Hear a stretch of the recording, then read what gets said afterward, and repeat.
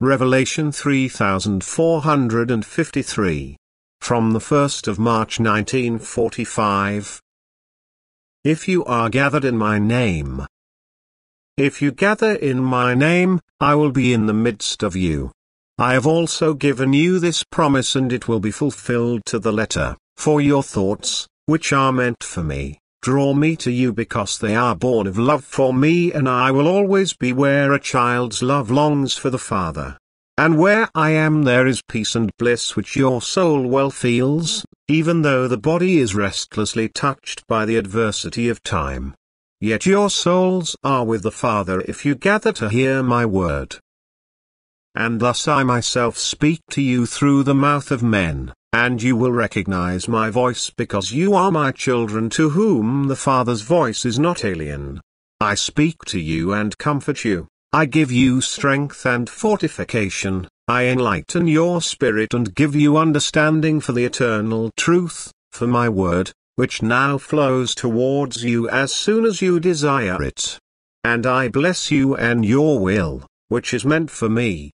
But the Father's blessing earns you spiritual progress, you will mature in your soul, you will pass every battle with the adversary, you will overcome the enemy of your souls and emerge victorious, because you constantly draw strength from my presence which you receive through my word.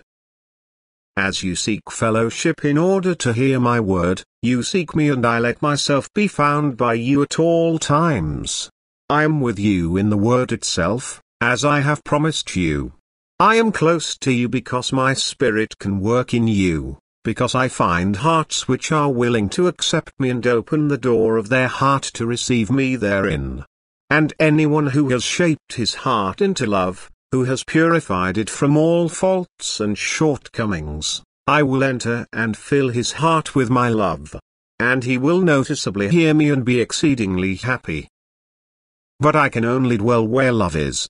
Therefore, you should all strive to use the power of my word, to work on your soul and to prepare your heart as a receptacle of my love and my spirit, to cleanse it of all dross and faults and to long for nothing but my presence. When I dwell in your midst, I throb at your hearts and seek entrance. But I can only enter you if you completely surrender yourselves to me, if you completely submit your will to mine, if you live in love and completely live in my order. And that is why I give you my word, that is why I constantly admonish you in the word to return to my order, and that is why I impart strength to you so that you can carry out what you are otherwise too weak to do.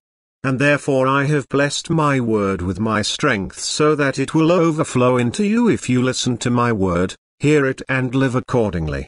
Then you will be able to accept me in your heart, you will feel my nearness, you will hear my voice and be exceedingly happy already on earth. Amen.